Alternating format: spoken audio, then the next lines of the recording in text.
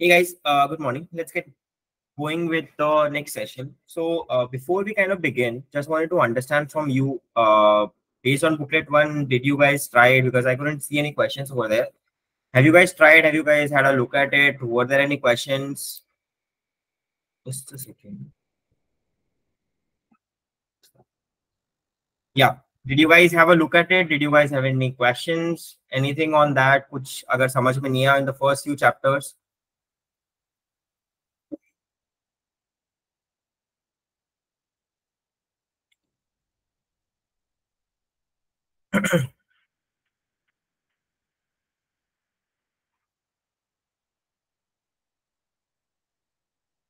looks like no questions. Maybe see uh, i'll just let you guys know that you know up until now even if you guys haven't had time or uh, motivation whatever it is to uh, practice questions thoroughly you will end up realizing that uh, you know you guys will uh, unnecessarily be behind the schedule just because of not practicing questions. Because a lot of things i'll be covering in the class of course we'll cover as much as we possibly can but you'll at this you know simultaneously you'll have to solve a lot of questions abhi tak even if it was not done that is fine uh, from now onwards, just ensure that you know we have we keep a habit of ensuring that the moment chapters and the moment a particular section gets completed, uh, we'll try to ensure that we look at you know that particular segment and uh, uh, move on.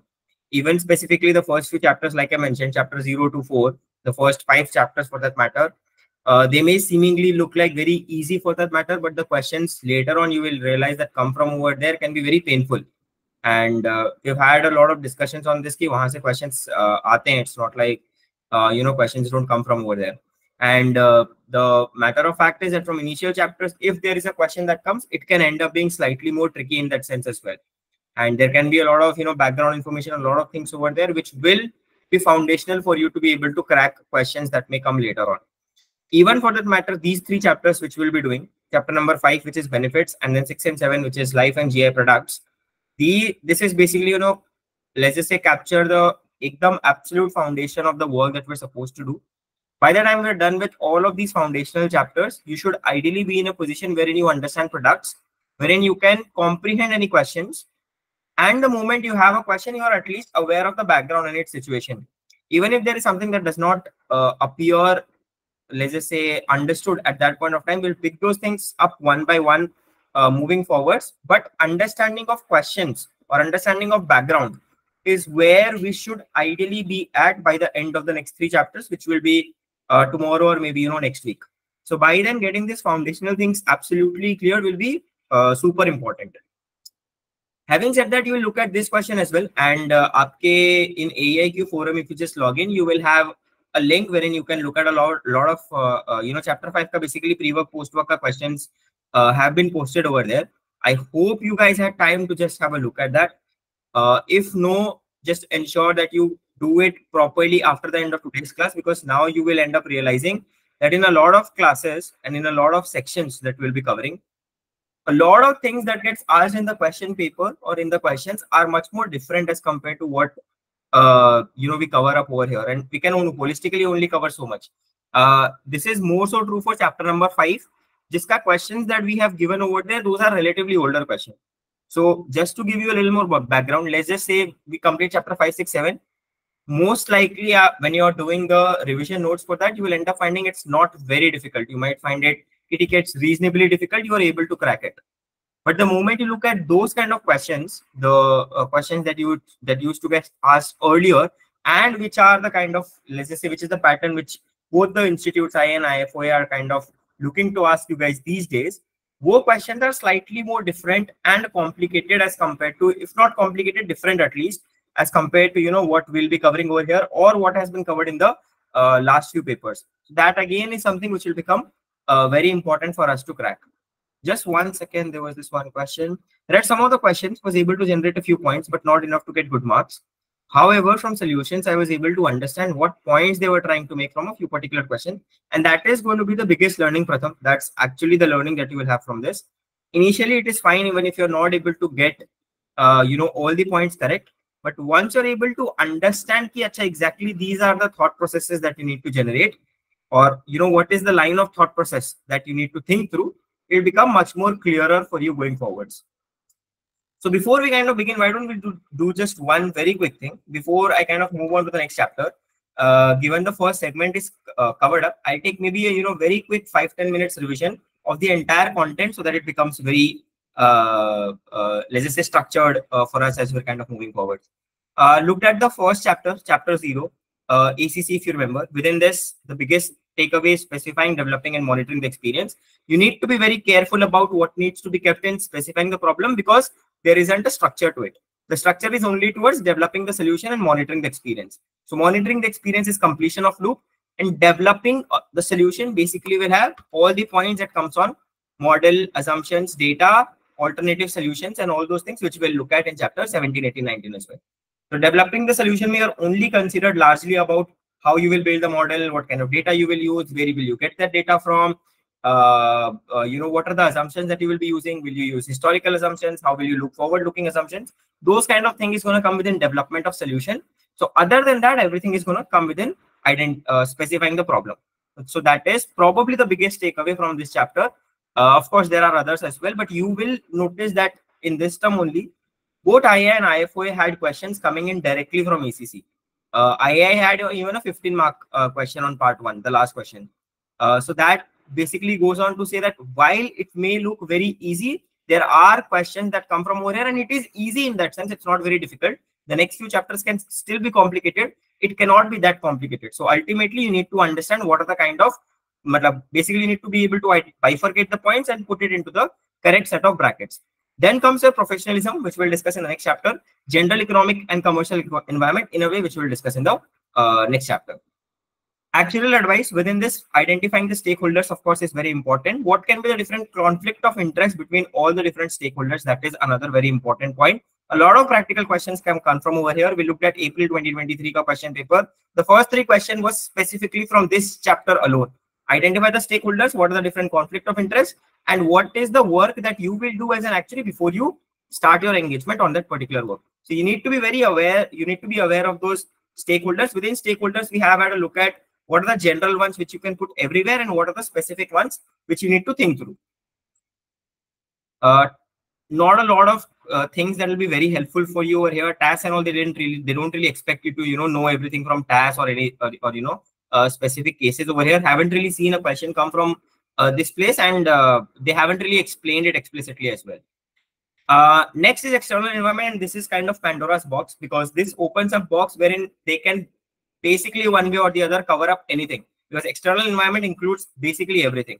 Create grand list is basically something that you need to remember. IAI folks definitely remember the entire mnemonic. It'll be very easy for you if at all a direct question comes from external environment, which is a possibility in IAI. IFOA folks, uh, folks, it becomes very important for you to understand everything uh, that comes from within this. Uh, we have had a look at what are the different aspects of uh, external environment. Uh, emission trading pay, we looked at one question, but we will go deeper, so you don't have to worry about it. Climate change, for the timing, we are not looking at it, although we have had a, look at a couple of questions, but specific targeting of climate change is kind of not yet done. Capital adequacy and solvency will actually be covered later on. So these three are very important aspects. Jinse uh, it is highly likely that a you know full 50 mark question can potentially come and we will gradually keep picking up questions from over here so that we are strengthened. Other than this a lot of uh, uh, uh, you know points that you may find over here we have basically tried to cover a significant chunk of it one way or the other. Next comes your regulation. Within regulation we have looked at you know principal aims grip this is very important. Direct questions even from ifo till date comes from over here. So be very careful about it. Direct cost is basically cost that goes out of your pocket. Indirect cost is not out of pocket. It, it's not money monetary in that sense. But you know, we have had a look at uh, two different varieties uh, in which it can come. Basically, three different varieties. One is from producers, one is from consumers, and second one from intermediary. How overconfidence and everything plays a role in these indirect costs. Need for regulations, we had look at that. Anti-selection moral hazard, be very careful about it. This is something that you can end up using at any particular place this is like a filler uh, uh, point that can come at any particular point. You'll end up realizing later on. So very quickly going through regulation and ensure that you know you guys are going through this because these cover more or less everything uh, of the chapter right? So be very careful. I think you should have a hard copy of this set. If no ensure that you're getting it uh, delivered to yourself. And uh, uh, ensure that you know at the end of every chapter you're able to cover up the entire chapter with this uh, you know one pager alone and final uh, introduction to financial products and customer needs, which will be carrying forward in this particular chapter as well. Now, this again is kind of similar to external environment. A lot of products that we had over here. We have had a look at mortgage-backed security. I hope this and asset-backed security should be absolutely clear. A couple of in-depth questions were also looked at. Although we don't really have all the information that is needed uh, right now handy, but still I think these products should be absolutely clear to you. Other than that, there are few more products. What is SPV? What is securitization? All of those things should be absolutely clear. And to sum it up with or to just end the note before I begin the next chapter, one thing, one, let's just say very big takeaway that you guys should be aware of now is that there is a particular pattern. If you realize, just say uh, someone had said today also, uh, Pratham, like you mentioned, when you looked at questions, you end up identifying that there is a certain pattern to a particular question that they uh, uh, crack, right? You will end up realizing much later on, but there is one code which can be applicable in 90% of the cases. Whenever there is a question, and we have discussed it earlier as well, but you know, it, it doesn't come naturally to us until and unless we force it in the first few classes and later on it becomes a, a natural thing to you. So in the questions, you will end up in, in, in a lot of questions rather, you will be placed with a particular situation and you are required to generate points out of it. That's that's the broad overview of questions pattern in CP1. You need to be careful about picking a particular point. one particular point is what you picked up. For instance, let's just say securitization, right? अब securitization के बारे में you have to write and what are the let's just say benefits or drawbacks or let's just say you're just supposed to mention securitization.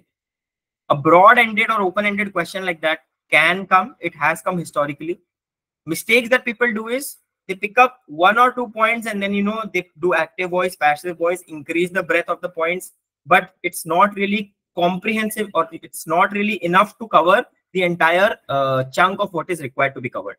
So the best way to go about it is pick up one particular point, exhaust it, have counter thesis to that point, and then move on.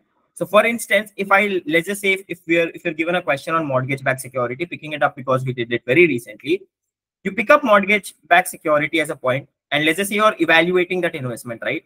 कि आप invest you're evaluating whether or not to invest in mortgage backed security number 8 in that situation you can pick up that particular mortgage backed security now think through the lens of an investor what are the things what are the what are the advantages that you get the biggest advantage is that you can get let's just say relatively higher rate of interest so the moment you pick up higher rate of interest write a lot about it then pick up a counter thesis point say that however it may not uh, always be the case because it can be a recourse arrangement as well or however there can be an increased risk of default in case of uh, uh, mortgage backed security then you pick up another situation wherein you talk about recourse arrangement so आपको ये information दिया हुआ नहीं रहेगा whether it is a recourse arrangement or whether it is not you need to pick up assumptions exhaust it and then move on कि अच्छा if it is recourse this is what will happen however it may be non-recourse as well in which this case will happen but when it is non-recourse i will anticipate a higher rate of return but if it is recourse i anticipate a lower rate of return so all of these things is not going to come from the question. It stems from your own understanding. So answers jab aap dekhoge right now and a lot of answers that you will look later on as well, you will end up finding acha ye point doesn't seem natural in this particular question. And those points, if you look at it, the idea or the stem behind it is you pick up a point, exhaust it, have some counter thesis like however, you pick up a uh, again reiterating, you pick up one of the points, let's say recourse, you exhaust it you say however in case of recourse i will have a higher risk of default. And then you pick up another thing. But in situ in a situation wherein the mortgage backed security is non-recourse in that situation i will probably get a much more uh, uh, let's just say higher rate of return but there will be higher rate of uh, higher possibility of default as well. So if it is something that meets within my bracket of risk threshold you know i can go ahead and buy that particular security. If no i should uh, watch that particular uh, uh, security for that matter. So that is the kind of thought process, I would say, which comes within these answers. And that thought process is what you will only get after you have solved plenty of questions. So start solving, if not, even if not now, this is probably the last time I'll, I'll be repeating it. You're still not late. It's just the start of June. You can still pick up, uh, you know, booklet number one. Go ahead, look at a lot of questions and have that mental stem as to what are the points that I'm missing and what is the direction? You will once you have cracked this is what institute is asking out of me. You will realize that everything else can be taken care of because classes will be covered. Every chapter will be covered. A few questions from every chapter will be covered. And uh, uh, you know uh, recent papers everything will cover more or less everything but still that doesn't guarantee success because you still aren't answering question as per the requirement of theirs so for that you will have to realize by yourself that you know that stem needs to come from within uh, uh, you only and that can only come if you have solved a lot of questions on a day in day out basis if i write a point which is not in the examiner report but i give proper justification will the exam uh, will the examiner uh, give the marks? Uh, Aditi, remind me this right after the class as well, and we'll discuss uh, this particular point, but after the class has ended. And this is a question that comes every now and then. I really didn't have, you know, a concrete answer to it up until some time back, but now I do. So I'll, I'll, I'll uh, try and disseminate the information to the best of my abilities. We'll pick that up towards the end. but yeah i think other things are absolute should ideally absolutely be clear and uh, let's move on to the new chapter which is benefit overview and provider of benefits now over here is where probably problems will start popping up yahan se thoda problem you know it, it, the things might end up becoming slightly more problematic as compared to what it was up until now because this chapter and going forwards you will have to be prepared for every word to be looked at you know in multiple ways right the word benefit sometimes is used in, in its literal sense and sometimes is used in a sense wherein what we usually call benefit. So I'll tell you, if I hear the word benefits, in, not in general, but in actual terms, right? The moment I hear the word benefits in actuarial terms, I am thinking of pension directly. The benefit matlab pension and that can potentially cover something else like old age benefit or something incremental that comes as a part of me providing service to my employer or because of something that is provided to me by the government.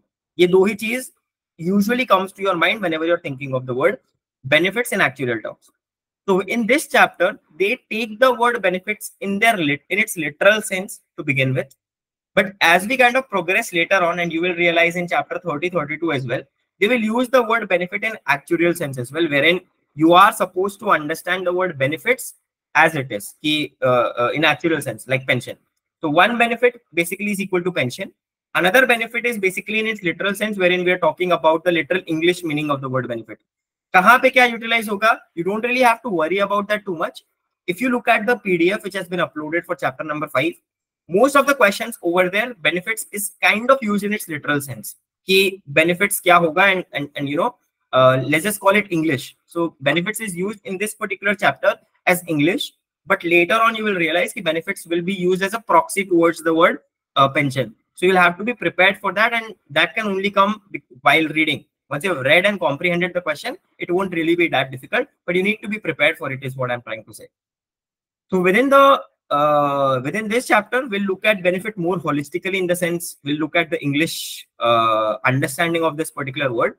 And it is not just confined to state benefits or employer benefits. There are other sources which can come for uh, benefits as well. So first let's start with the sources of benefits uh, before we move on to how these benefits come. Yes. So there are five most important or five most common providers of benefit the one is the state of course and you should be prepared because of what we did in chapter 1 2 the word state is used interchangeably with government so the first is your state, which is nothing but the government. Second is employer, or it can be a group of employer, doesn't really matter. Now, these two are the common sources of benefits. The next three are what come because of the stem or, or you know, because of the way in which we're comprehending the term benefit right now. It can be individual, which means you, me. I think we had discussed this in, in the last or the, you know, uh, uh, in the last couple of chapters that benefit can come from you as well when you're making certain savings it is a benefit that is provided to you by yourself. The next one can be financial institutions, which is basically, let's just say, a mutual fund industry or a bank. Whenever your savings accrue in a particular fund, it can, you know, keep accumulating, and by the end of that particular term, you will end up getting certain benefits or certain accruals. A life insurance company providing certain savings instrument can also come within uh, part number four. And the final one is other organizations isn't really explicitly explained but there are certain NGOs, certain other organizations which can do one thing or the other, which you can't really bifurcate in number one, two, three, four, because they're not government, they're not your employers, that is not you yourself, and that is not a financial institution, but still you can accrue some form of benefits out of it. So these are the five major providers of benefits. within that you need to be careful about what are the different roles played by different uh, institutes for that matter whenever they are providing benefits. What are the different roles played by the state whenever they're providing benefit? Uh, what is the employer's role whenever they're providing benefit? These are two important stems for us to understand. We'll look at that one more question that comes from over here which isn't explicitly explained as a part of the syllabus uh, in this chapter but it comes as okay you are an employer they'll give you some more information some more background and you know you have hired 10 different folks. And say suppose you're doing let's just say you're providing them with a fixed salary plus 10% pension something of that sort. Now they will ask you questions on how can you control that particular expense. They might give you some incremental stem that you know the expenses have run over what your estimates were. How can you take care of that how can you budget for that? How can you plan for that? Those kind of questions have also historically come.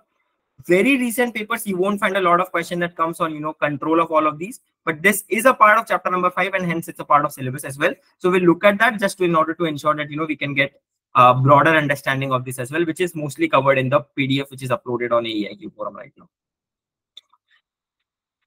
So we'll look at what are the different roles but these five are the different providers. That should be absolutely clear what are the different sort of risks which are associated with pension and you know different benefits? We'll look at that as well. So let's just move back a little and let's just look at benefits in the sense we usually call benefits which is basically pension. So the word benefits like i mentioned we you we will end up using it as a proxy towards pension in multiple cases. So the key features and now we are looking at the word benefits in terms of pension. So key features of pension contract are as you know it's stemmed out over there they're primarily used as a means of providing income in your retirement. So once you've retired, you get a certain source of income, and that is by way of pension, right? Uh, it may provide other benefits as well. For example, a lump sum payment to dependents. It may have options to change the form or timing of the payments as well, which means at the uh, an option at the retirement to exchange a proportion of the uh, pension payment for cash payment. Now, there is a specific word for it. What do you call when a stream of payments of pension is converted into a lump sum at a particular point of time. You should ideally know this, but you know that word is basically come to come multiple times later on as well. So at retirement, if you are converting, say suppose you receive 20,000 per month post retirement, instead of that, you're converting the 5,000 into let's just say a lump sum of 10 lakhs and you will continue to receive 15,000 per month. Now that converted 5,000, what do you call it? Or the process of conversion. Yes, commutation. So the word pension does not necessarily always have to mean of you know monthly amount or an annual amount. It's not that annuity amount only. Even if you're commuting, which means even if you're converting a stream of payments into a fixed lump sum at a particular point of time, that is also pension. If on your death you end up, uh, your spouse ends up getting, let's say 50% uh, post your death, that is also part of your pension if on the death of both both the parents the, ch the children ends up getting some lump sum that is also a part of your pension only. So pension word usually the stem i get out of it is that you know the stream of payment that i will receive post my retirement that is incorrect. It also means the commuted amount. It also means what my spouse will get. It also means what my children may end up getting as a part of that particular contract. So you need to be very careful about all of these things featuring within pension itself. It can also sometimes include uh, long-term care as well. There is also restoration uh, of pension. Yes, Aditya will will will cover everything. Don't worry.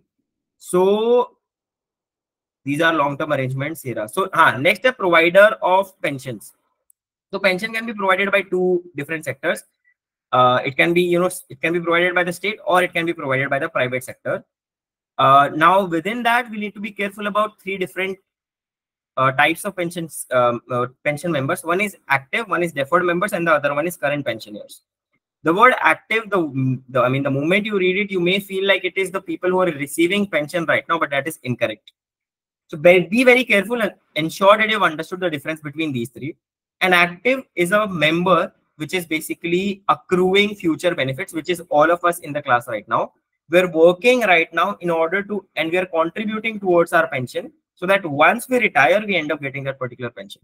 So that is basically active. So active is nothing but the current working population which is accruing pension as we kind of move ahead.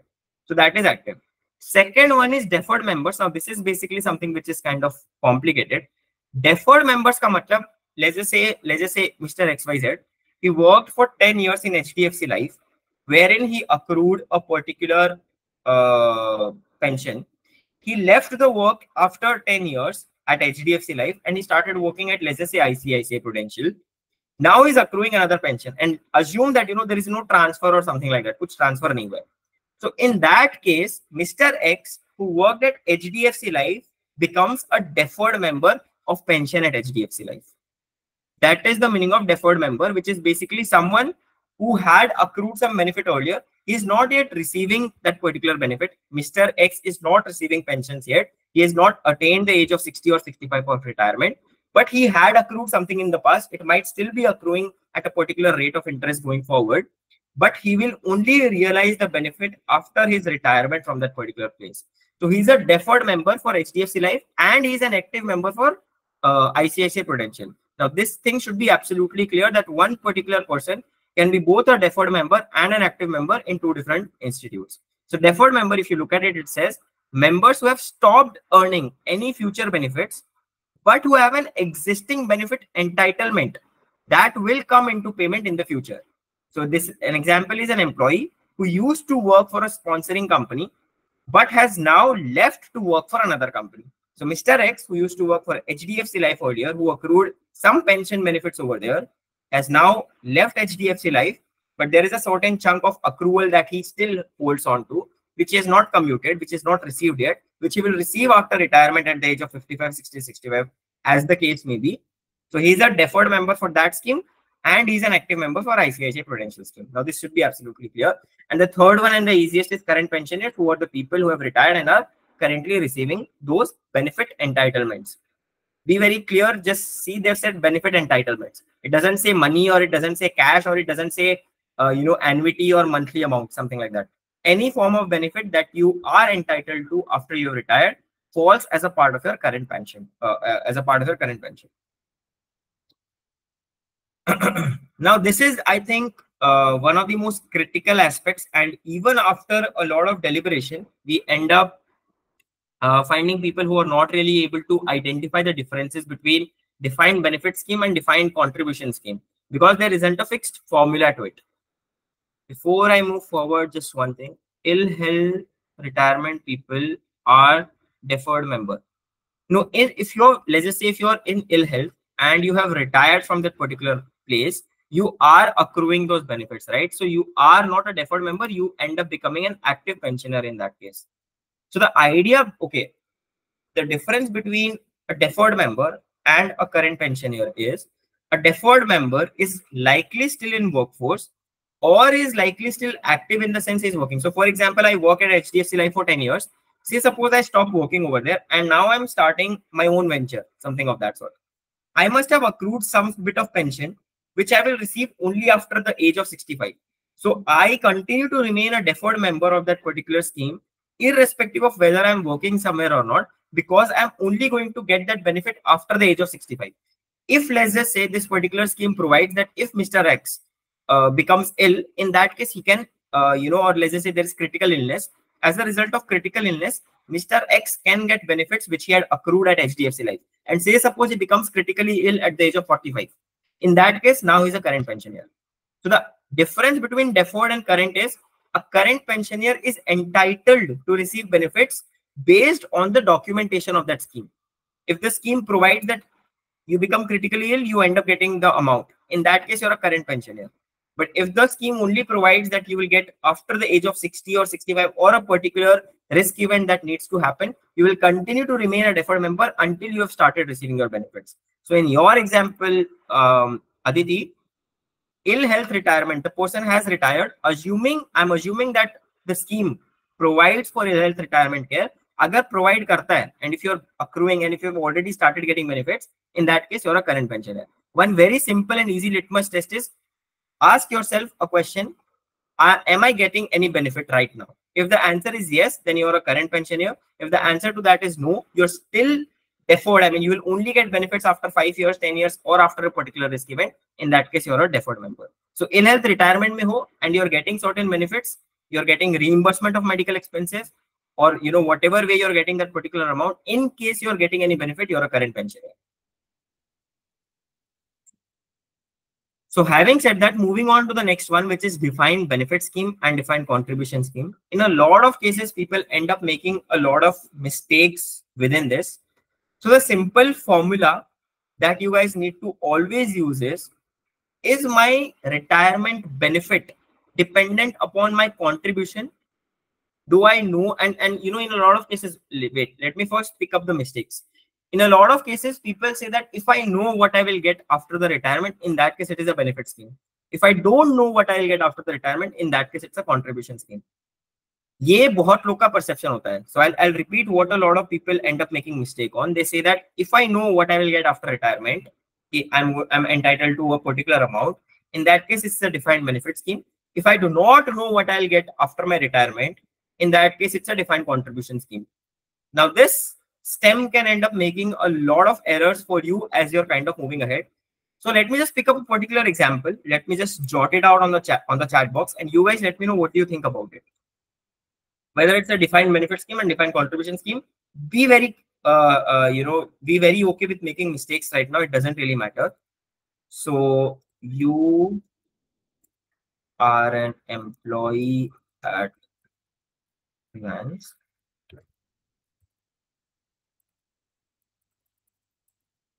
now let's just say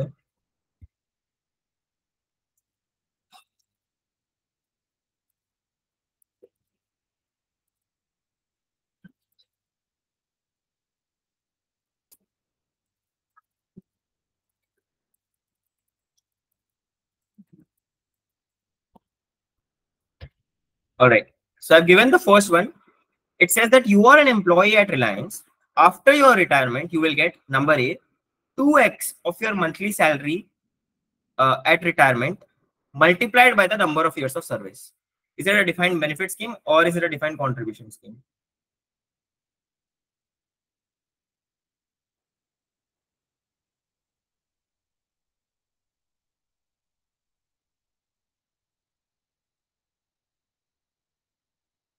Got it. Surprisingly, no mistakes. This is the first time I think nobody has uh, said DC.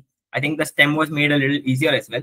But in this case, can you tell me what is the amount that I will get? I mean, a lot of people say that DB scheme, ka, when I ask definition, they say that DB scheme, I know what I'll get. DC scheme, I don't know what I'll get. It depends upon accrual. But in this case, the example that I gave, and you guys have correctly said that it's a DB scheme, I still don't know what it is that I will get, right? I don't know what my what my salary will be when I'm 60 or 65. So if I don't know what I will get, how can I call it defined benefit? My, my benefits in that case is not known, right? It's not certain. My benefits are still uncertain is what my understanding is right now. So why is it defined benefit?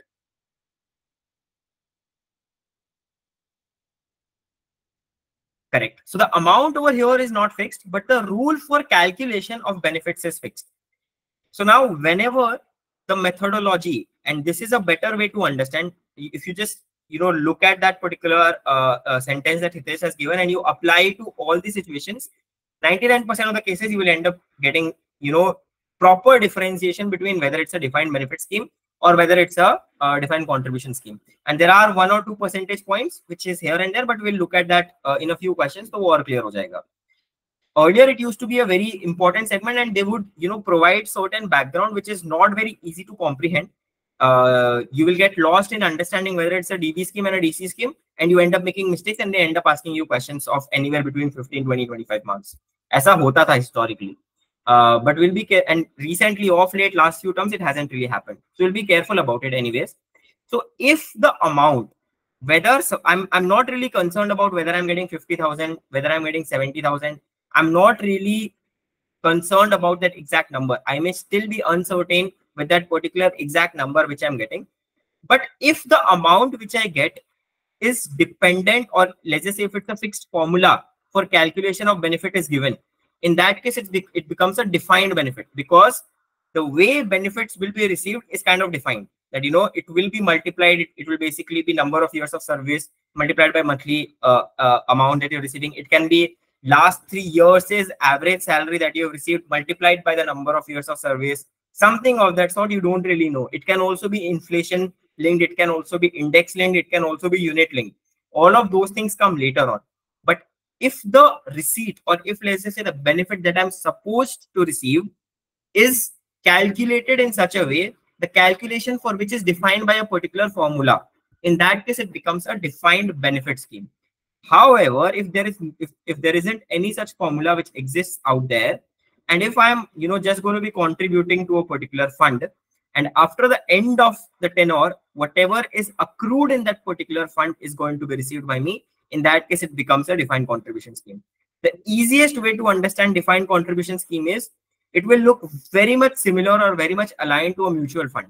In mutual fund में क्या होता है every month I, I'm, I'm assuming a lot of you might be uh, doing SIPs you end up putting 10k 5k 12k 20k 50000 whatever it is you keep accruing that particular amount every month without any knowledge of what you will end up getting in return.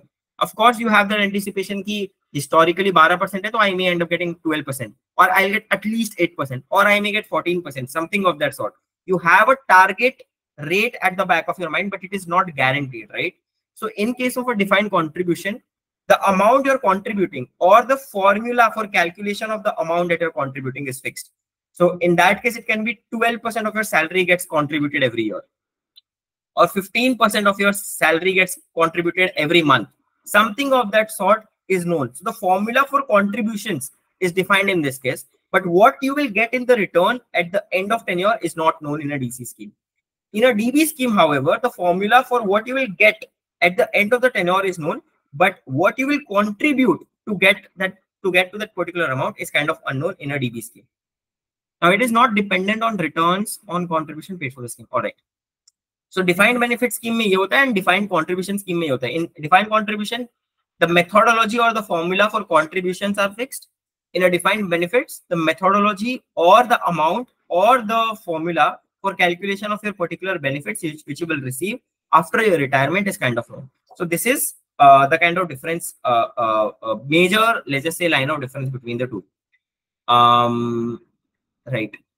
So within defined benefit scheme, just going a little deeper because you know questions may end up coming in such a way wherein it, it creates a lot of con it, it, it creates a lot of contrib uh, confusion uh, confusion defined benefit scheme may if your benefits are defined but your contributions are not who is actually paying for that particular amount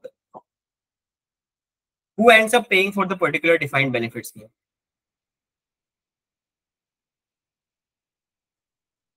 Employer. Just give me one second, guys. We'll just take it. Just give me one second.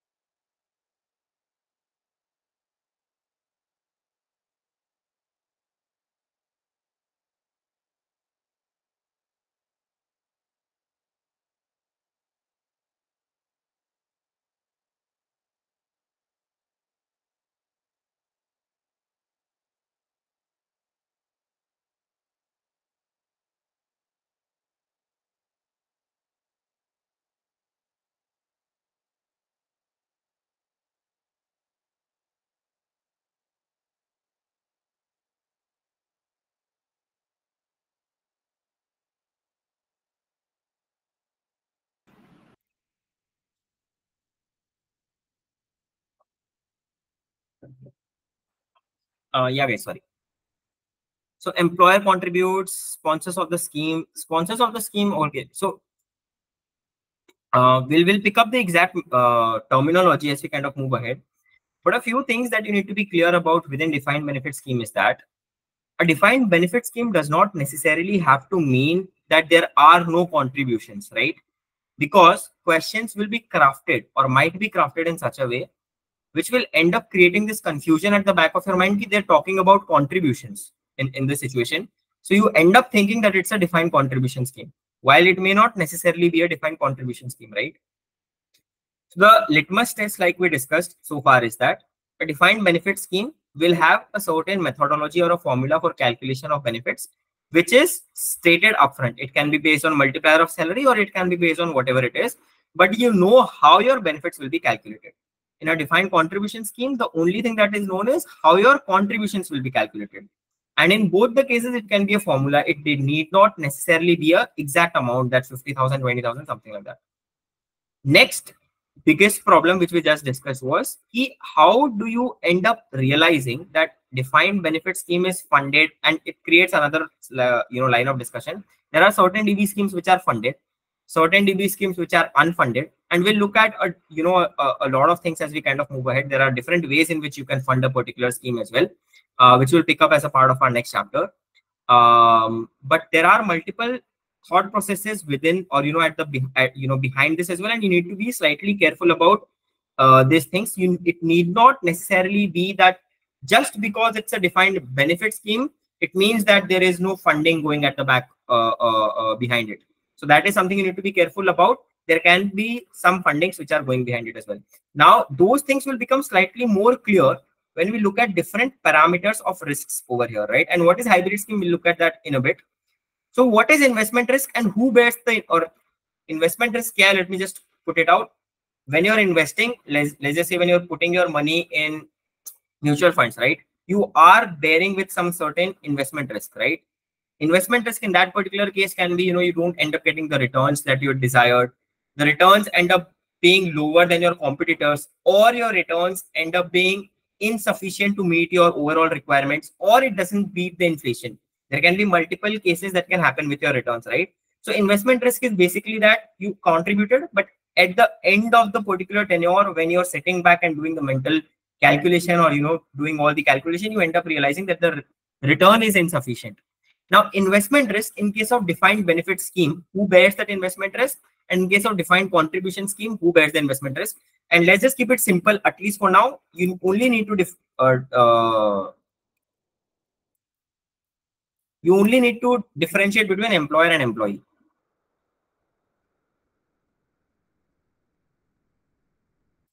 DB employer, DC employee. So far, a couple of people have said this. Employer and defined benefit, employee and defined contribution. All right.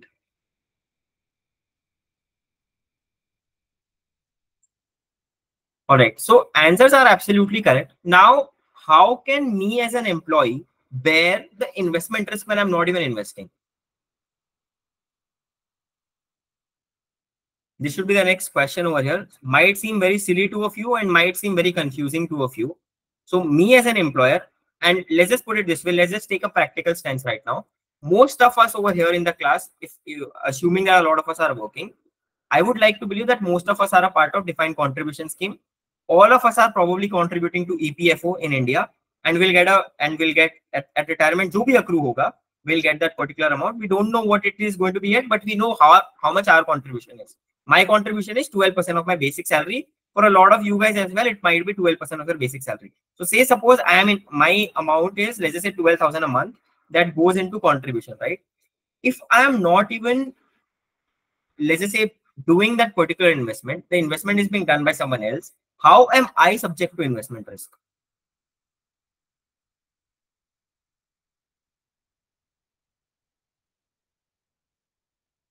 Shouldn't the investment risk be for the person who is investing?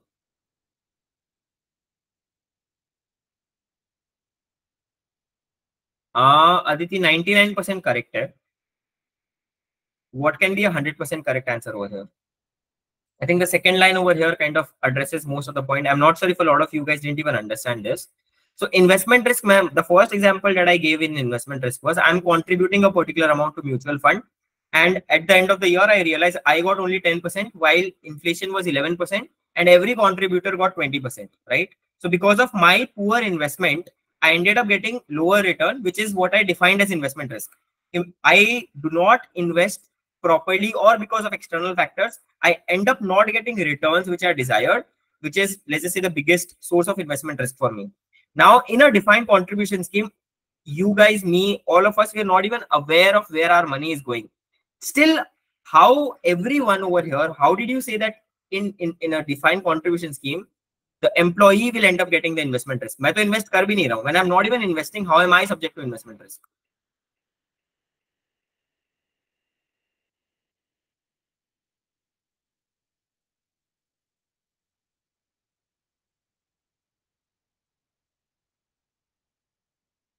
The returns are not fixed on the amount. Default risk default risk thoda sa extreme ho gaya in this case. I'm still not getting the perfect answer. I'll, I'll wait for maybe one more minute. Might get less compared to if we invested ourselves. Not exactly. The comparison is not that. So if i invest i get something versus i go through the contribution scheme i get something. That is not the that is not the comparison going on over here and i'll repeat the question for one last time if my contributions and all of you guys combined, our contribution is going into EPFO, we are not even aware of the investment. We are not even having any say on what investment can be done over here. How can you guys end up getting the burnt of investment risk जब आप invest कर ही नहीं रहे हो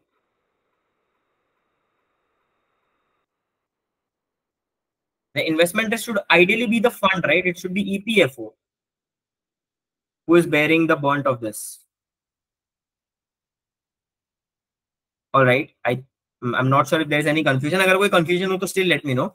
So in case of any particular risk whenever you're looking at a risk one big confusion right now and this thing will come later on as well because risk is a segment jisme 7 8 chapters covered in and there you will end up getting a lot of pain. So i want to you know let's just say share some bit of pain there jo aapko wahan hoga uh, carrying it on over here and uh, it might be slightly painful for you right now but later on it'll, ease our process.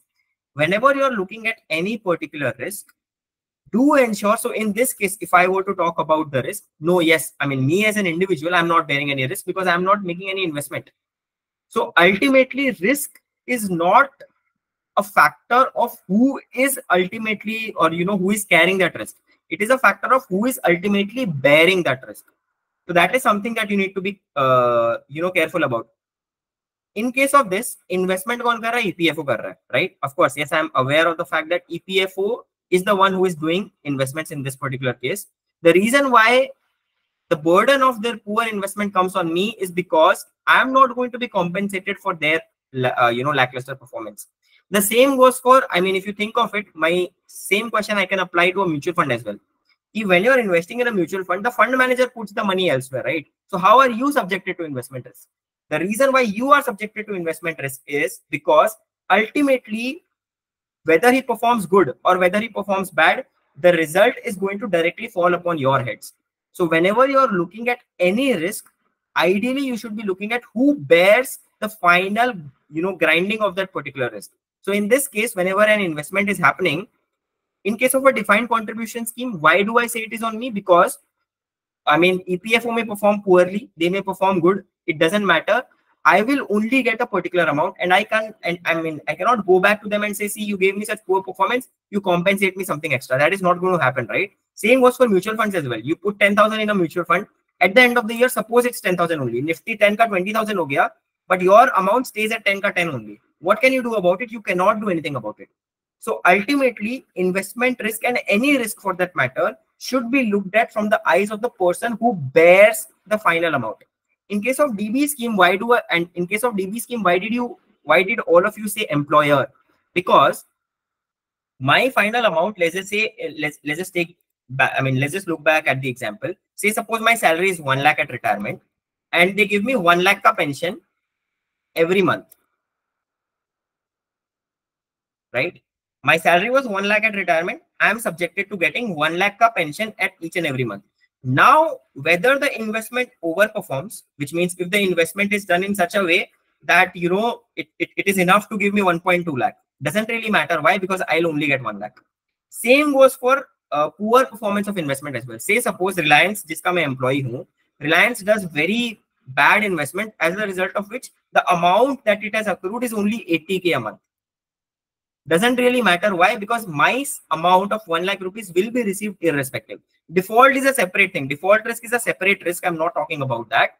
But irrespective of you know i mean the ultimate benefit of investment is accrued to reliance. The ultimate loss of investments is also borne by reliance. As a result of that we end up saying that investment risk in this particular case is borne by the uh, employer and not by us. So that thought process needs to come risk को जब भी evaluate करो whenever you are evaluating any particular risk don't look at who is dealing with that risk that is immaterial you should look at who is bearing the final you know, poor performance or underperformance ka risk and who is getting the benefit of exceptional performance in that case. In case of investment returns, if it is very good in defined contribution scheme, it is good for me. I'll get a lot of benefit out of it. If the performance is absolutely poor, if it is 0% return, I will have to bear that risk. Who who who who undertook that particular, I mean, I mean, who undertook poor performance? It was EPFO. But who bears the burden of that risk? It's me. So always look for who bears the burden of that risk. That stem needs to come in every particular uh, question going forwards. So I think with that investment risk, okay, now let's move on to the other risks, and I hope it will be relatively more clearer. Increasing longevity after retirement. At the point of retirement, if your longevity is very high, who will bear the? I mean, where where does the where does the risk lie? In case of defined contribution scheme, who bears the risk? In case of defined benefit scheme, who bears the risk? And this is an easy one. Very quickly एक एक करके सारे का दे दो ना who bears which risk in which case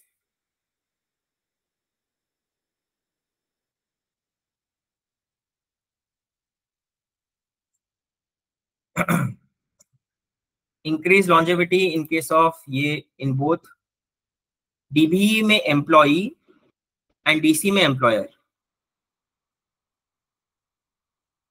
just one second. In case of defined benefit, it is employer, and in case of defined contribution, it is employee.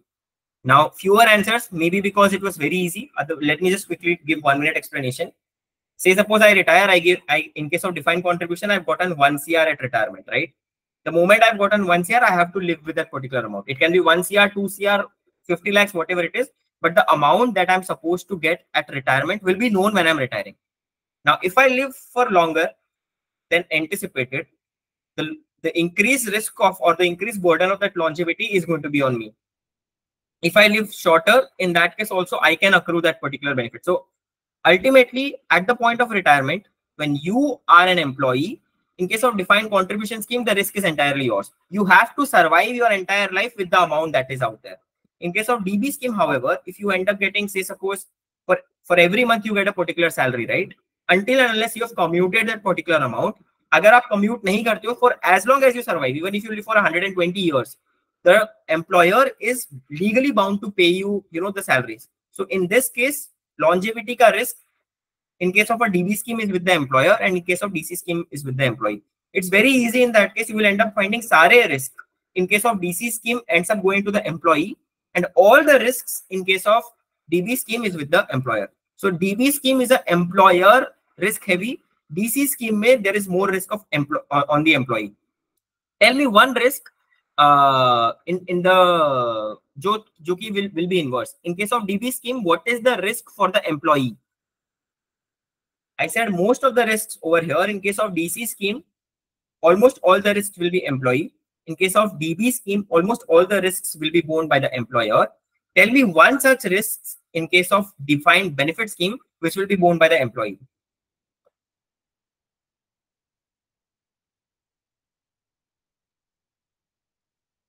all right I'll, I'll get back to it. I thought that you guys knew it so you were not answering. I'll, I'll get back to it. But can you first try to take a crack at that? The other question. So let me just explain uh, longevity risk so first thing try to understand most of the risks are borne by the person who is ultimately supposed to i mean the the question was who is bearing the burn of that particular risk right? So let's just say it's a defined contribution scheme right? Defined contribution scheme mein kya hoga all of us are contributing to dc scheme. All of us are putting 1 lakh or you know 12000 every month whatever it is. Whenever we retire at the age of 60 we'll get a certain amount. Say suppose we retire at the age of 60 and we get 2 crore rupees each. Just a random example now if you live for 40 years after retirement you need to survive for 40 years on that 2 crore only if you live for 10 years only after retirement in that case you only have 10 years and you have 2 crore which might end up being sufficient if you end up living 60 years after your retirement, even in that situation, you're supposed to live on that 2 crores only. So the idea behind a DC scheme is that at the point that you're retiring, you know that you've received or accrued a particular amount. Now, whether you live for a very long period of time or whether you live for only the next 10 years or 5 years, you need to live on that particular amount. So agar aap, if you outlive, let's just say the amount that you received is sufficient only for 25 years. मान लो जो भी आपको amount मिला is sufficient only for 25 years So if you live for 25 years, very well, good, good for you. But if you end up living for 30, 35 or 40 years, the risk is on you because now you don't have money, but you're still living, right? So in that case, living longer is going to be a burden on yourself. Why? Because the amount that you received at retirement was fixed. Now compare that to a DB scheme. DB scheme mein kya hoga? Say suppose the formula is simple. You retire and you get 1 lakh rupees every month till you survive. You receive 1 lakh rupees for every month till you survive, right? Say suppose you retire at 60. If you if if let's just say Mr. X retire at 60 and he lives for only the next five years, good by him because you know the longevity risk in this case is on is on the employer. He will get one lakh rupees every month till he survives. Same goes for the next 40 years as well. If he survives for the next 40 years, he will still accrue one lakh rupees every month. So in this case, the employer ends up bearing the risk of longevity. If the person lives for shorter period, employer gets the reward. If the employee lives for 100 years, the employer has to bear that particular risk. So in this case, wherever uh, you know a person ends up living longer than anticipated or shorter than anticipated. In case of DB scheme, the risk is on employer. In case of DC scheme, the risk is on employee. Longevity risk, DB scheme under which risk is borne by employee. Uh, Pratham, was that clear? Benefit received from DC can be passed on to dependents. So basically in DC, employee will have to suffice with only the amount accrued. Absolutely correct. Yes. So in basically in DC, in case of defined contribution scheme, the employee will have to suffice with only the amount that has been accrued uh, at retirement and they will get you know a certain amount and they'll have to live on with that.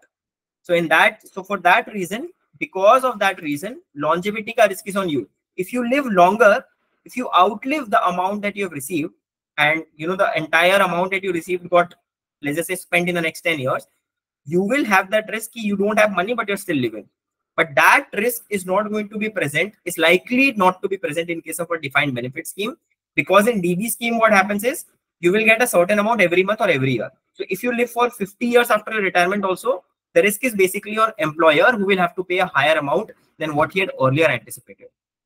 So dc scheme longevity risk is on you. Db scheme the longevity risk is on employer. Same goes for investment risk also just like we discussed. Now i want from you guys which is that one particular risk which you think in case of DB scheme which will be borne by uh, an employee अभी तक मैं ये बोल रहा था कि जो भी रिस्क है आप सिंपली देख लो if it is DB scheme most of the risk will be with the employer in case of dc scheme most of the risk will be with the employee tell me one such risk in case of a defined benefit scheme which will be borne by the employee and it is within the five that you can see in front of your screen so दो तो हो गया you have three remaining out of those three risks which risk do you think will be borne by employee in case of a defined benefit scheme? An employee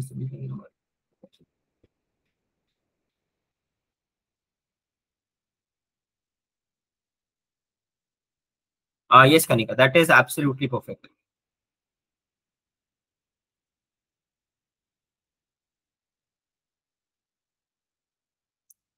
inflation risk if the amount is fixed okay this is one thing i'll tell you. Uh, that is a correct point but it is not from the five points out there. So inflation risk is correct. In case but there again is an assumption. If the amount you received is fixed if the amount or let's just say if the pension amount is fixed in that case inflation risk is owned by the employee in db scheme but if you think of it the other way around as well, DC scheme mein to anyway it is with the employee only. Yes, Aditi, that's the correct answer. Credit risk. Reverse will be credit risk in that DB era credit risk as Perfect. So now I'm getting correct answer, but only from a select set of folks. I'm not sure if others have not understood it. If there is any misunderstanding, if I'm moving faster or if I'm moving slower, you have to let me know. And if there is something that you've not understood, just like someone raised a question today just let me know and i'll i'll be more than happy to you know take care of that. Please explain how of course i'll i'll be explaining that uh, but that is correct. So credit risk jisne bhi bola that is absolutely correct. Now let's take up uh, uh, before we move on to the credit um, before we move on to credit risk let's let's pick up other risk as well. Investment risk ka matlab kya tha you invest you end up not getting sufficient amount you have not been able to beat inflation you have not been able to get sufficient returns. Who is investing? In both the cases in both DB scheme and DC scheme, I don't have investment in my hands.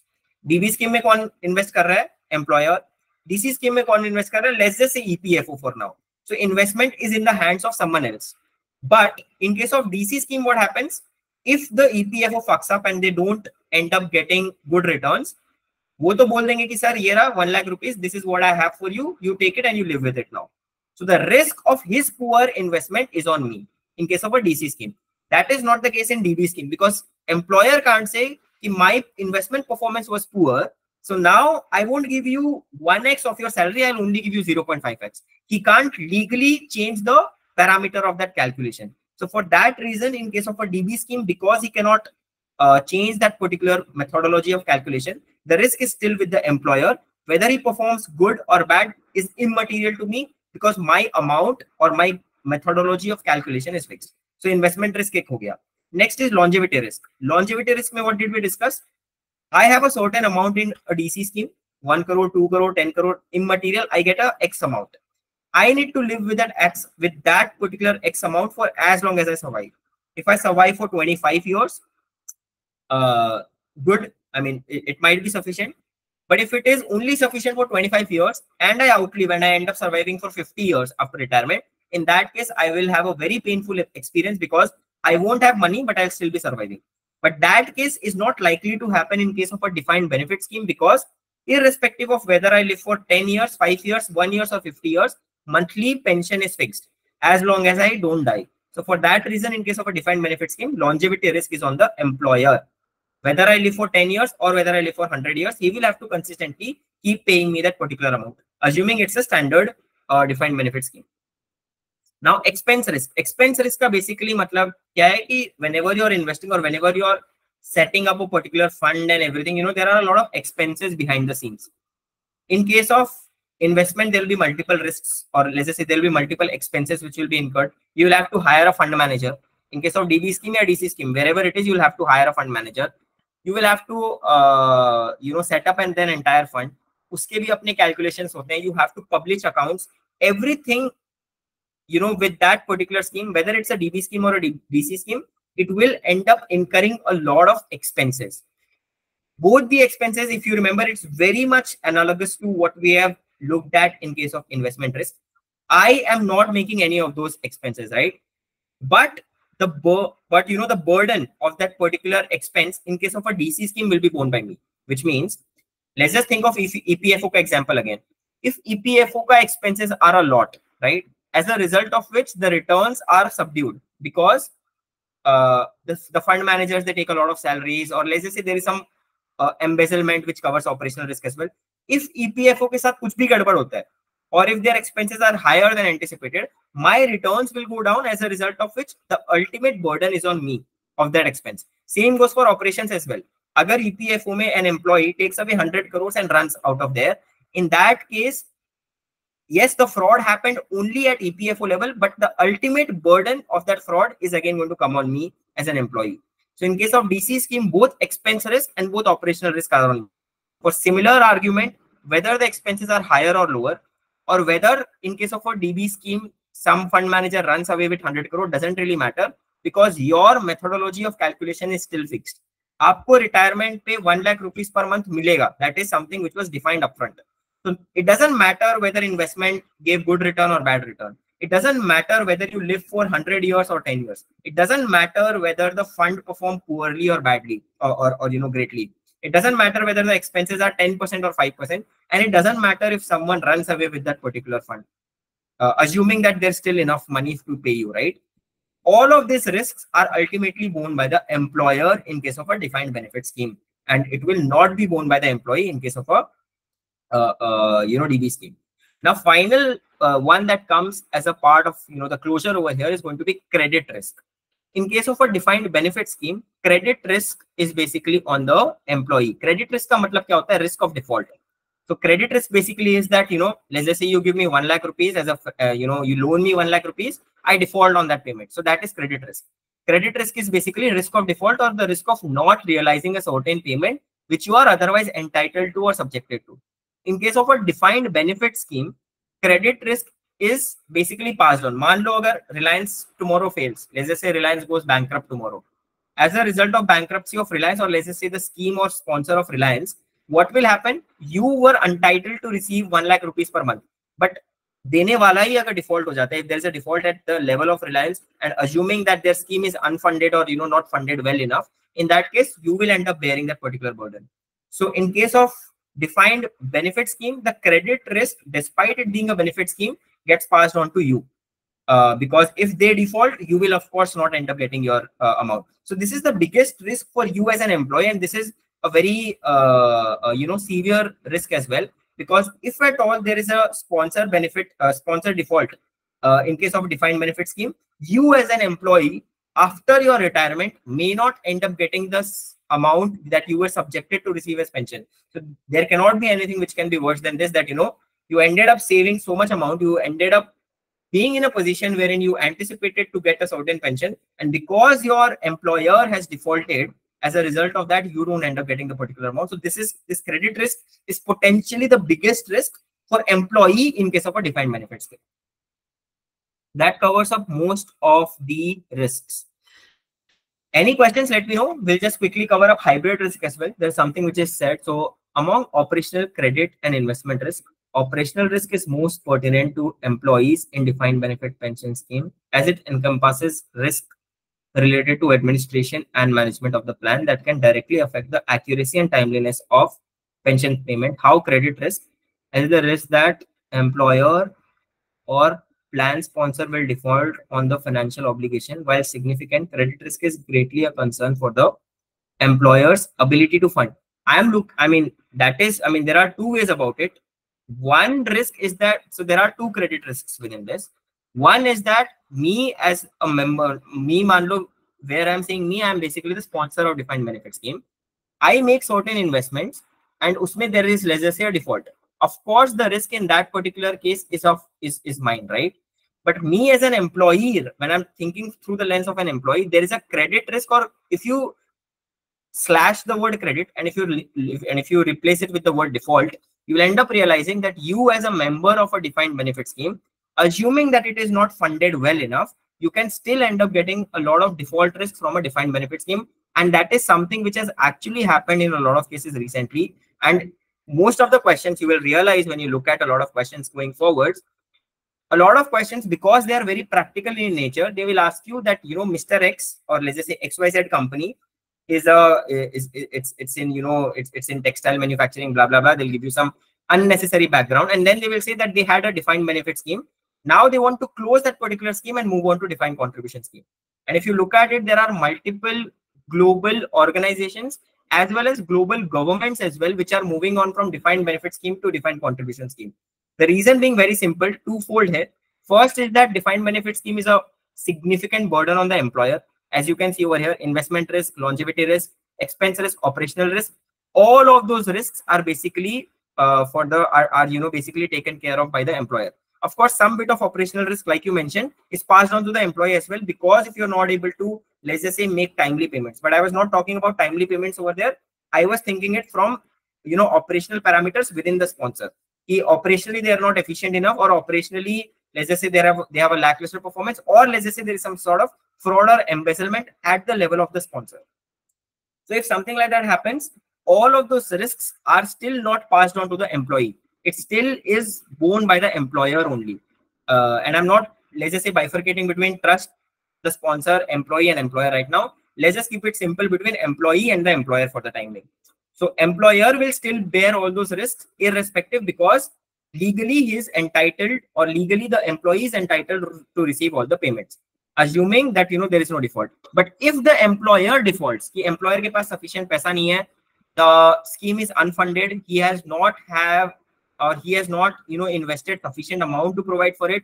And in a lot of cases this happened there are multiple pay as you go uh, schemes as well which we'll look at later on. It will come as a part of your syllabus later on in a lot of these cases you will end up realizing that db schemes become a very big burden to the employer they end up defaulting on payments to the employees because it is unsustainable for that matter and for those reasons a lot of defined benefit schemes are today getting getting converted into defined contribution scheme and that is that kind of questions is what you will get end up getting in a lot of cases there is only one question which i am aware of जिसमें एक ऐसा stem है i think it was may 2023 i i just note it down may 20 just one second So May 2023, IAI, because IAI does, you know what it does, they have this question in May 2023, IAI paper B.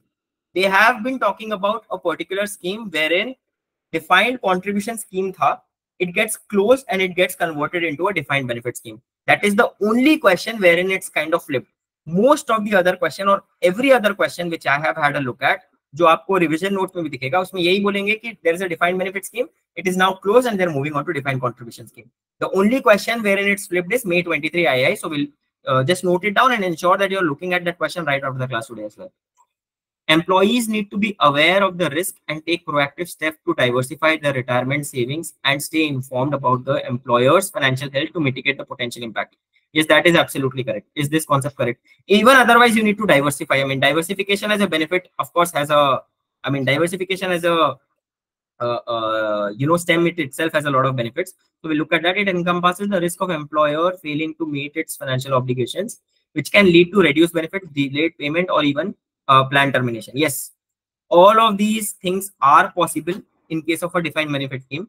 In multiple cases recently jo aap questions dekhoge defined benefit scheme gets stopped. It can be stopped for future accrual as well. And what those future accruals are and everything, we'll look at that in a little more depth as we kind of move forwards. But you need to be careful about the fact that DB scheme is a very big burden on the employer if you look at it practically. That is the reason why practically agar aap dekho, a lot of DB schemes get closed, they get converted into DC schemes so that all of these risks can basically be passed on to the uh, employee. So ye jo bhi sare risks aapko dikh rahe hain, they are all employees risk in case of a defined contribution scheme. Investment performs poorly, you bear the burden. You live longer, you bear the burden. Uh, there is a lot of expenses. Transfer mein manlo, there is, let's just take a random example. Manlo, UPI se transfer or let's just say whatever it is, an NEFT or whatever it is happening, the transfer ends up taking 10 20% uh, uh, of the amount. In that case, also you will end up getting the risk. Operationally, let's just say there are default or whatever it is, you bear the risk, and credit risk, of course, is your in case of a defined contribution scheme. So all the risks are basically yours when you're a member of a defined contribution scheme. Now, hybrid scheme is basically simple in that sense. It will end up having a mix of both. Some part of a defined benefit uh, some part of it will be defined benefit and some part of it will be defined contribution, which can be like you contribute 6% every month and whatever is accumulated, you will get that particular amount. Plus, over and above that, 10% of your monthly salary will also be paid to you after your retirement. So something like that, which is a mix and match of both. Some part of defined benefit is also taken into consideration and some part of defined contribution is also taken into consideration. That kind of a scheme becomes uh, a hybrid or a defined ambition scheme. पहले इसको defined ambition scheme बोलते थे. Right now, I mean, there aren't a lot of questions from this, so uh, really can't say that you know they have changed this word, but they have changed the word to hybrid scheme recently. And uh, hybrid schemes i haven't really looked at a lot of questions that have come practically from both IAI and from IFoA but db scheme and dc scheme both questions are there specifically on the risks associated with both. Who bears the risk? How can you transfer the risks? And all of these things become very important when you're looking at the uh, you know uh, when you're looking at benefits. So be very careful that you understand all of these things very carefully. And don't worry just yet abhi we have just looked at it. We'll look at questions. And then define benefit scheme what is trust? What is sponsor? Uh, you know how what is basically future accrual? I, I use the word future accrual a lot today but i don't anticipate you to understand what is future accrual what happens if future accruals get stopped. All of these things will be discussed later on.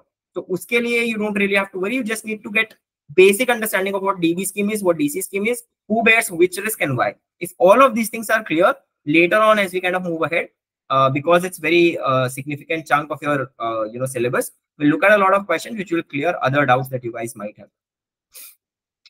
Um, that was your uh, just one second. Huh, so that was your pension basically. abhi tak benefits only from the lens of this of you know pension is what we have covered so far. Other than that you will end up finding uh, there are multiple other organizations or multiple other structures which can end up providing you benefit one can be state the other one can be employer the third one is individual you yourself fourth one is financial or, or uh, uh, intermediaries or organizations and the fifth one is other organizations now, in what way can state provide you benefits or in what way can employer provide you benefits? That is again something which is kind of partially important, I would say. IAI has asked few questions directly from it. IFOA usually won't ask you direct questions from over here because you know it's it's already available, so you can just you know uh, jot it down and write it down. But understanding all of these points will be clear, will be important. So state may provide benefits which can be retirement, it can be medical care, it can be unemployment related benefits, which is widespread in a in, in, in a in, in a country like US.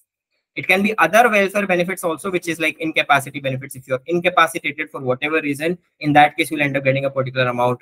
And you know, there can be free hospitals. There are multiple ways in which basically state can provide you benefits. So wherever state is incurring any expenditure for the welfare of its uh, you know citizens, all of those things pertain as a part of your benefits. It's not just retirement pension over and above that critical illness medical care hospitals education uh, unemployment related benefits or any other welfare schemes that they run in particular all of these things will come will fall as a part of your state benefits itself so these are the different ways in which they can or different schemes that they can sponsor in order to provide benefits now you need to be careful about what are the different ways or different roles that they pay in order to disseminate this right so if you look at it, it is in decreasing order of you know money being spent. So first one is direct provision, which basically means he, they are directly, let's just say, crediting that particular amount, right? Direct provision in case of retirement is basically whoever retires from military service will get a X amount as pension. So it's like direct provision, entirely administered by state, entirely paid by state. There is no third party intervention. There is no one else coming in.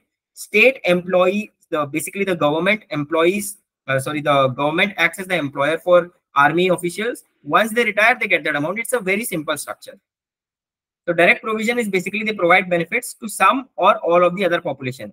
This was one such example. It can also be let's just say old age hospitals or old care or, or you know critical care institutes whatever it is. So they directly provide for that specific amount for a specific set of population. As simple as that. Second one can be where they act as sponsor for the provision of such benefits. In this case, it can be perhaps by providing appropriate financial instruments. So the government can act as a sponsor and they can provide certain financial instruments as a result of which you can end up getting certain benefits. So for example, there can be certain bonds in which you can invest, which will provide you certain benefits, something of that sort, right? So they can directly provide you a certain amount or they can provide you a space just like an EPFO for that for that matter EPFO is the sponsor of provision for such benefit. Why? EPFO is administered by the state. The entire premise of EPFO is that your contributions get you know accumulated over there, and when you retire, you get that particular amount. So state is not directly. I mean, they're incurring some expense for that matter. It's not free of cost, of course. There is some expenses being incurred by the state as well. But the basic idea behind this is that government does not directly fund for it.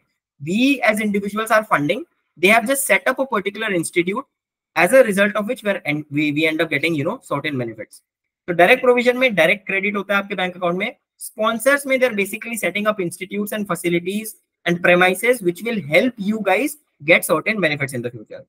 Third one can be provide financial benefits through tax system and that is what ends up happening to all of us right? When we invest in life insurance products we end up getting 1 lakh 50000 ka rebate under 80C assuming you're in the old old, old regime. Similar to that, whenever you're paying for health insurance as well, you get tax deductions.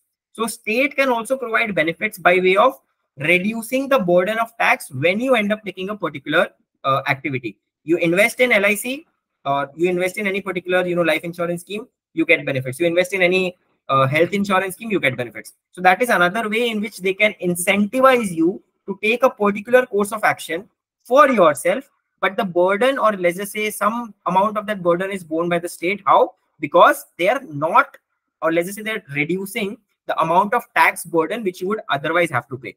So they are taking lesser taxes from you and facilitating this particular uh, arrangement.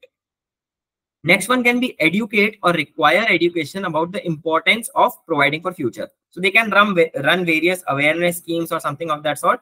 And uh, you know with that they can educate a lot of folks and you know get going with it. Fifth one is regulate or encourage or compel benefit provision by or on behalf of some of the population. Now, this is very similar to the second stem over here. You can regulate or encourage or in certain cases, you can compel benefits as well. So if you know employee EPFO is a mandatory provision, it's not a voluntary provision. Any employer who has more than 50 or I think 25 employees, there's a certain uh, threshold. Over and above that, you are mandatorily required to register for EPFO. So certain situations, they can provide you, you know, certain provisions which are voluntary. They can give you certain financial incentives which are voluntary. But at a certain point of time, they can also, uh, you know, compel certain benefits uh, for you, which is given in part number five over here. So if at all you are an employer, you have 25 plus employees, you need to compulsorily register for EPFO and you need to ensure that each and every employee contributes to that. Same goes for employee state insurance as well. 12% of the pay is mandatory. Above that is uh, voluntary. I mean, yeah, similar to that. So there can be certain ways in which, you know, they can identify that, you know, yahan tak voluntary hai or, you know, or maybe yahan tak mandatory hai. Over and above this, it can be voluntary. Same goes for a lot of smaller, let's just say people who are earning up to 5,000 or 10,000. Employee state insurance is mandatory in that case because those are usually on the job, you know, front ended workers who are, let's just say, factory laborers or something like that. And they may end up, you know, uh, getting, let's just say, some sort of illness, sickness, or some sort of accidents because they are prone to that. As a result of that, employees who are earning only X amount are mandatorily required to get uh, employee state insurance, which is actually paid by the, or let's say facilitated by the employer. So they can compel certain benefits as well. And they can regulate bodies that provide benefits. For example, you know, there are multiple bodies in, in India which provide certain benefits. All of them are basically regulated by the, uh, uh, these are basically regulated by the government. So these are multiple ways in, in, you know, let's just say descending order of cost incurred, if you may say at least the first few, पहले में direct amount gets credited out of credited into the wallet uh, by the uh, state second one they're sponsoring providing institutes for you to facilitate that particular payment or providing intermediaries for you so that you can get certain benefits third one they can provide you tax intensive uh, tax incentive tax breaks in order to you know increase the penetration of certain products. Fourth one is educate run awareness programs. Fifth one is basically if you're not first say if you're still not uh, you know well enough and you know a lot of people in india at least they still don't care about first four so they compel benefits in a lot of cases. And sixth one of course they regulate a lot of bodies so that i mean the moment you're giving any particular any particular money let's just say that comes nps can come under 0.6 as well. It can also come under 0.2 because nps is not it will definitely not come under 0.5 now that you've taken a good example nps will be point number two because they have you know they're sponsoring the provision of such benefits. They act as sponsor. And it also comes under point number six because it's a regulated entity. So whenever you're investing in nps you're virtually certain of any you know default there is zero probability of default. Whatever amount 50000 or whatever it is that you're contributing once you retire at the age of 60 you're certain to get that particular amount so it's a it can be somewhere between 0.4 as well. They educate you in one way or the other and it can be some part of it can be 0.2 as well and some part of it can be uh, 0.6 not really necessary to know. Uh, maybe if you're from IAI it might be because they can ask you certain questions. So nps basically is national pension scheme. Uh, you can google it. It's, it's basically you know over and above your 80c ka contribution you can invest up to a certain amount and you can end up getting tax breaks for that particular investment that you have made. If i'm not wrong i think it is up to 50000 there there is a provision to increase it beyond 50000 and get tax benefit as well but you will get that money only after you retire at the age of 60 if i'm not wrong. So you need to contribute that particular amount. You retire at the age of 60 you get that you, you get back that particular amount with of course accruals. And uh, till the time you are making those uh, payments you will not have to pay any tax on that so you get tax in, tax incentive on whatever contributions you're making and your final receipt at the age of 60 is also free of taxation uh, so for that reason, you can say that it's a part of two, four, and six uh, for that matter. So a good example uh, for us to, and it's definitely not one because they're not provisioning. Uh, there's no, I mean, it is a part of three as well. They're providing financial incentive. They're educating. They're regulating. Uh, but it is not compulsory as well. So, I mean, you can look at particular example and fit, fit. I mean, fill in the blanks as to you know which are the provisions uh, that are basically provided by state as a result of that particular scheme. Same goes for employer as well. Employer, of course, won't do all the six. There are three out of the six which he does. They educate, they finance uh, uh, the benefit of employees in an orderly manner. And you know, in certain cases, when employers themselves are running a defined benefit scheme, of course, it's through a through a sponsor, but in a way they're financing for your benefits, right? Because one way or the other, they're supposed to contribute. Ideally, in an ideal world, they would be contributing enough so that the scheme in itself is funded well enough so that when you retire, there is no burden on the employer to make any particular payment. So idea is that the employer, he educates you, he tries to guide you. He may also say that, you know, there might be an email that comes to you that invest in NPS and save taxes, something of that sort. So the employer's role is to educate you, to guide you, to, you know, in, I mean, increase the penetration of certain instruments at your end.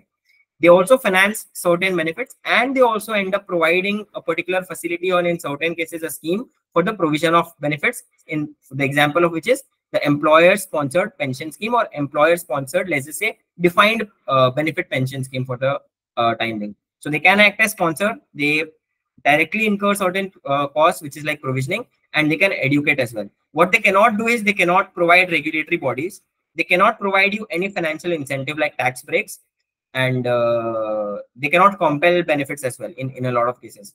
So, I mean, legally because they're not allowed to. So, out of these six, maybe one, two, and four is what uh, an employer uh, can do for yours. Can do for you, uh, similar to what you know, uh, basically the state or the government does. Relation to financing of benefits, relation to scheme provision. So we'll look at this in a bit. Role of individuals and financial institutions. Yes. So at the end, you will end up finding there are certain things which are still pending. We'll cover those up as well. Uh, but you need to be very careful about, you know, I mean, at the end of the day, you should ideally be in a position wherein you look at this and you're able to, you know, crack the code. There are benefits and overview. Main providers are the state. What, what does the state do? Employers, what do they do? Now let's just look at the last three, which is basically individuals, financial institutions, and uh, your uh, other corporates. So you as an individual you can you know provide for yourself. You can basically you know keep saving a certain amount in order to ensure that at the end of the day when you're retiring you have sufficient amount at yourself at your end as well and you're not totally dependent on the state or on the employer.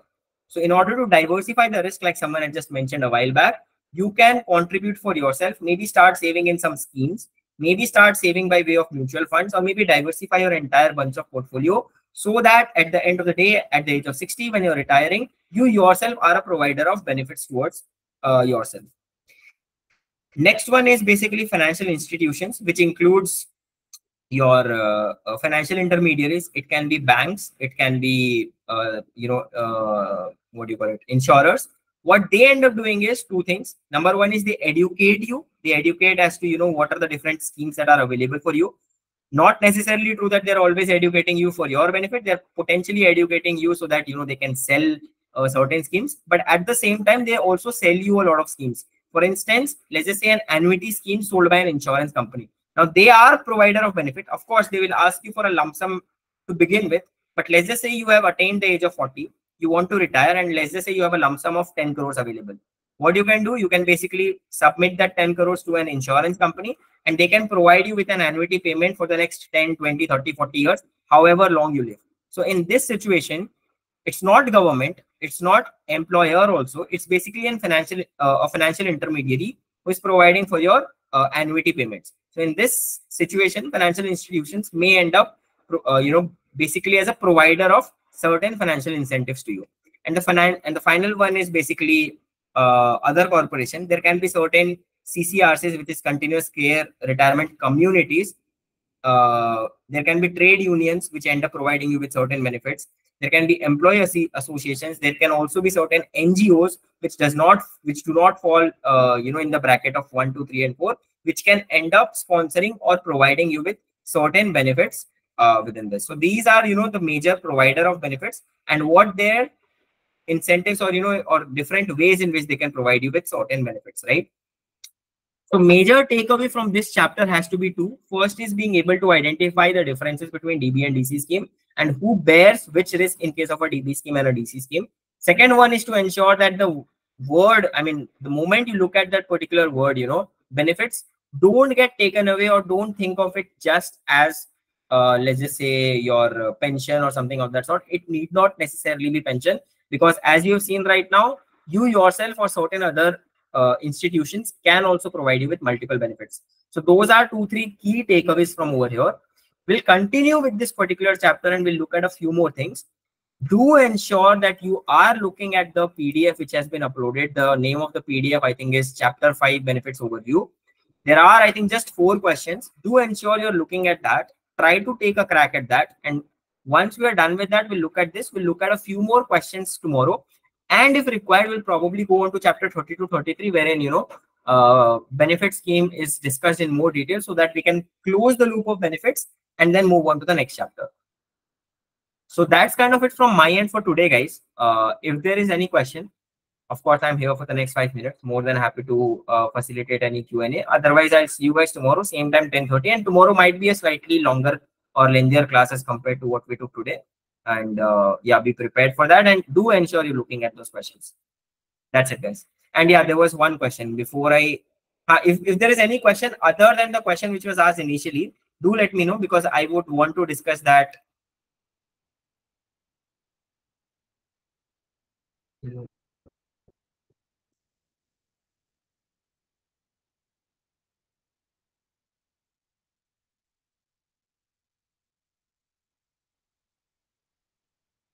All right, guys. I'll take that as no question. So that's it from my end for today.